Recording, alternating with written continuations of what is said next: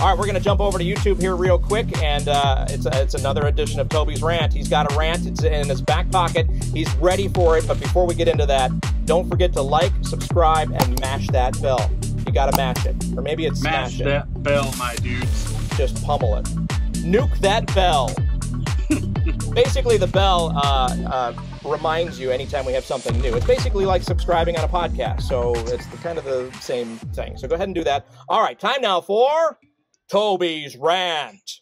I like how this is a thing now, so that's good. uh, let's talk about the tire, Carrie. The, The tire. The tire. It changed The- everything. The race was going, playing out fine. Yep. A tire uh, from Tyler Reddick's team got loose on pit road, landed in the infield grass. Mhm. So you're thinking, here comes caution.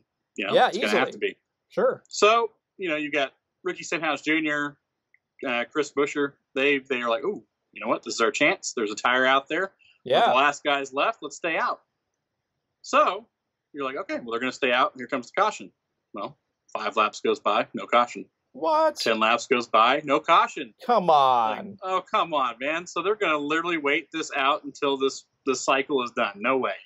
Like these guys can go almost 20 laps. They get to 17 laps. They both pit. NASCAR throws the caution. That's insane. Now, it first makes of no all, sense. Isn't the whole reason for throwing a caution in that situation is for safety reasons? yeah, so that's that's the whole reason you would throw the caution. Right. is safety. So if it's such a big problem with safety, how is it any different? Like, how can you let it sit there for 17 laps? Right. 17 laps. 17 laps. They jeopardize the safety of their own drivers.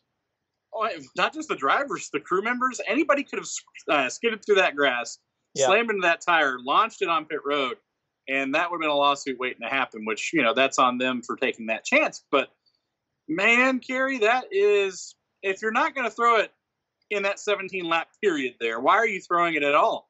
Yeah. Just let it play out now at this point. You've kind of just made you've made the bet, slaying it at that point, and just go. Well, we NASCAR- didn't think it was. They've been around for what? Since 1948? you would think they would have figured something like this out already. at some point. So I, I hear people all the time now, especially after the incident. Well, well, I mean, why are we going to give Christopher uh, Chris Buescher a uh, an advantage here?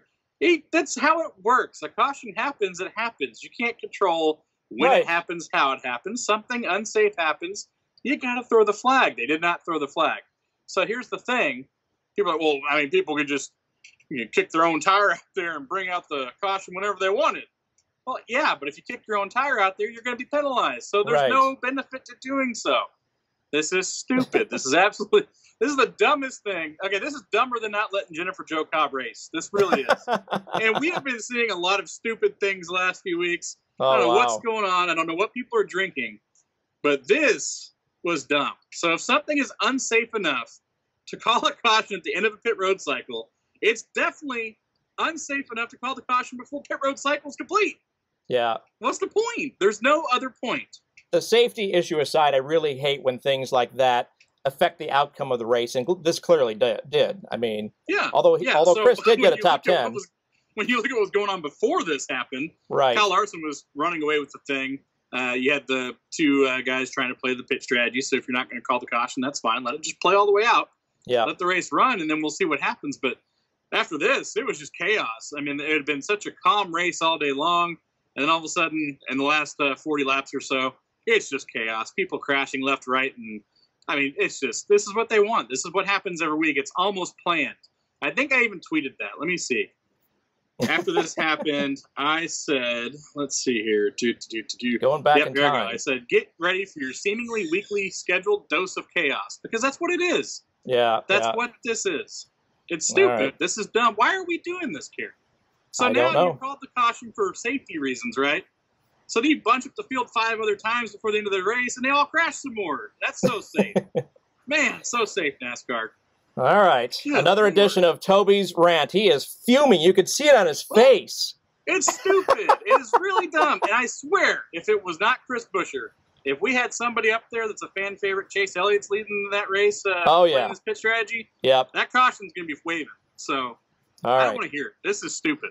This is, I mean, it's dumb. All right. Well, If you calm down. If, You if I'm trying. All right, you calm down. We're gonna we're gonna jump away from YouTube. Go ahead and like, subscribe, and hit the bell. Uh, we appreciate you. Uh, oh, we have 100 subscribers now on YouTube, so thank you Hey, so much. That's awesome. We Did we appreciate that. All- URL yet?